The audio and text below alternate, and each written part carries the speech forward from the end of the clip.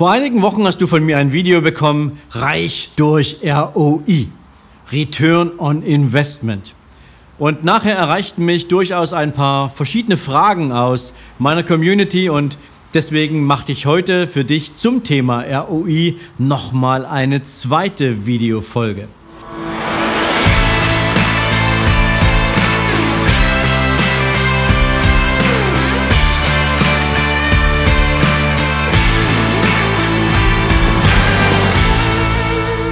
Denn ROI, Return on Investment, hat natürlich etwas damit zu tun, dass du Kapital, Zeit oder irgendwas anderes investierst, um daraus möglichst einen monetären Nutzen zu ziehen.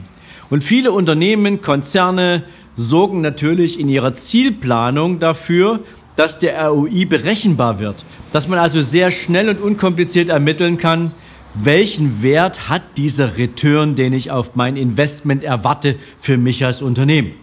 Und doch gibt es Menschen, die übertreiben es mit dem ROI auf eine sehr unangenehme Art und Weise. Ich möchte dafür mir ein Beispiel geben.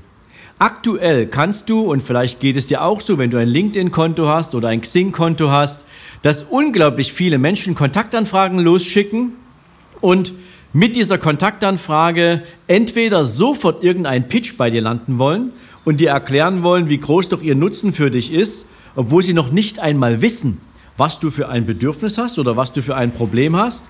Und auf der anderen Seite gar kein Interesse daran haben, überhaupt eine Konversation aufkommen zu lassen. Sie wollen ihr Produktangebot loswerden, sie möchten so wenig Zeit wie möglich aufwenden, sie möchten keine bezahlte Werbung ausgeben, sie möchten also schnell zum Schuss kommen.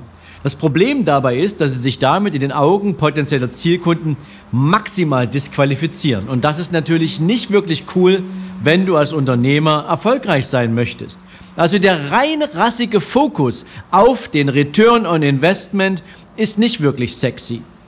Was sexy ist, wenn du Unternehmer sein möchtest, in den Augen deiner potenziellen Kunden ist, dass du beginnst, dich für sie zu interessieren, dass du ihre Tür in deine Richtung öffnest. Und das passiert natürlich nicht, indem du ihnen sofort dein Produktangebot um die Ohren haust, sondern indem du ernsthaftes Interesse zeigst indem du dich dafür interessierst, was sind sie denn für Unternehmer? Was ist denn der Zweck des Unternehmens, was sie aufgebaut haben?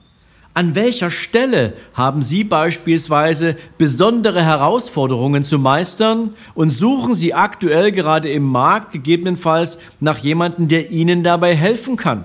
Und jetzt bist nicht du sofort derjenige, der die Hilfe bereitstellt mit deinem Unternehmen, weil du das Gespräch glücklicherweise in Richtung deines Produktangebotes gelenkt hast, sondern das, was jetzt passieren sollte, ist, dass in deinem Hinterkopf sofort dein gesamtes Kontaktbuch aufgeht und du überlegst, welcher deiner Kontakte könnte für diesen Menschen einen besonderen Mehrwert bringen? Wie kannst du zwei Unternehmer zusammenbringen, die gemeinsam einen hohen Mehrwert erzeugen können, nämlich in der gegenseitigen Unterstützung?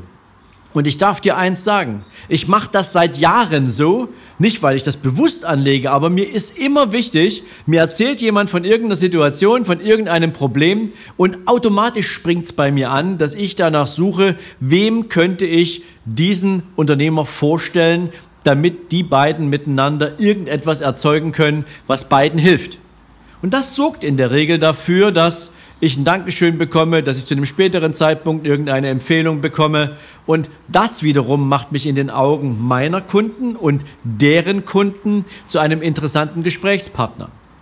Wenn du magst und wenn es passt, kannst du natürlich in jedes Gespräch einbinden und einflechten, welche Erfahrungen beispielsweise Kunden von dir in der gemeinsamen Arbeit bei der Bewältigung einer solchen Problemsituation gemacht haben und was die daraus folgenden Ergebnisse waren. Das kannst du tun, wenn es passt. Aber versuch bitte nicht auf Gedeih und Verderb sofort einen Pitch zu landen und sofort irgendein Geschäft zu machen. Dann wird es kein ROI, sondern dann wird es ein Desaster und du wirst dich in diesem Markt verbrennen, weil Unternehmer warnen sich auch gegenseitig vor Menschen, die wie die Wilden einfach um sich schießen und versuchen irgendwie einen Fisch an Land zu ziehen.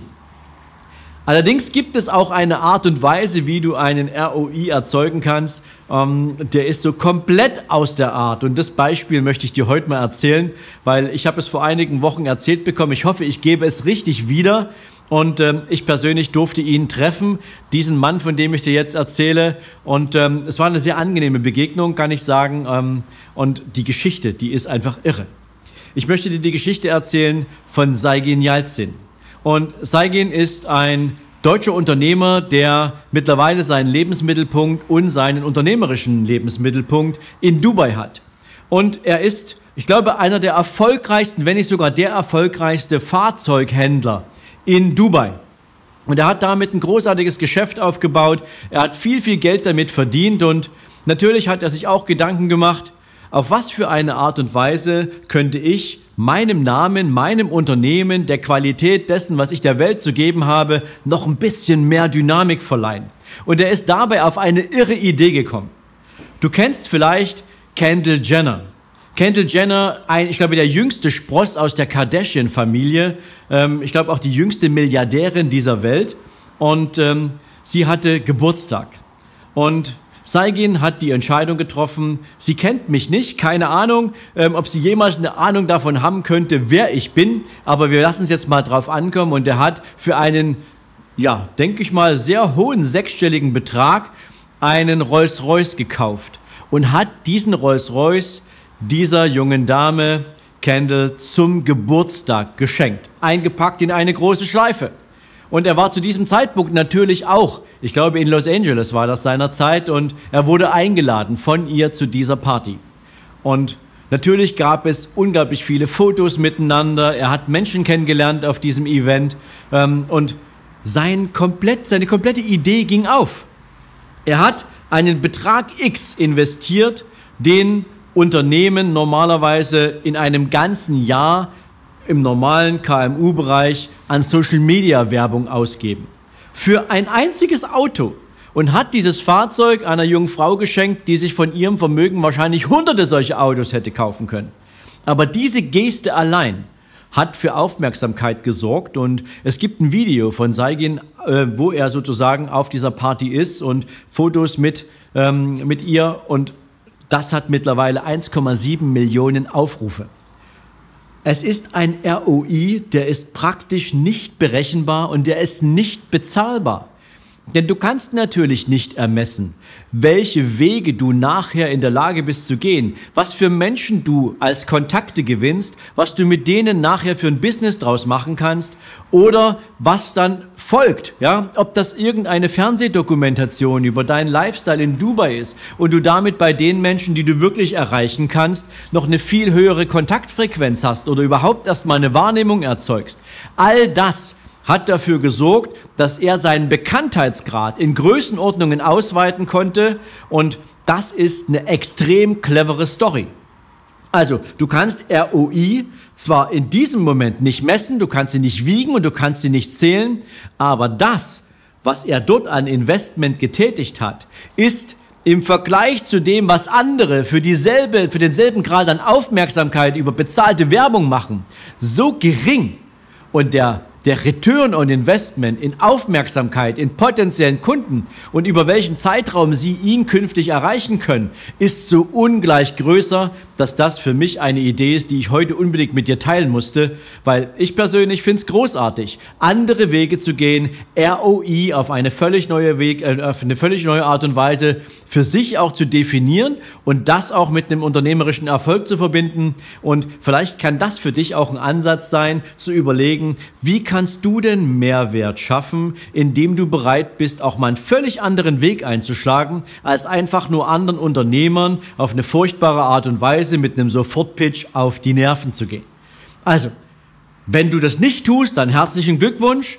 Wenn du es bisher getan hast, dann nimm das bitte mit als etwas, was nicht dienlich ist im Sinne deines beruflichen und unternehmerischen Erfolgs.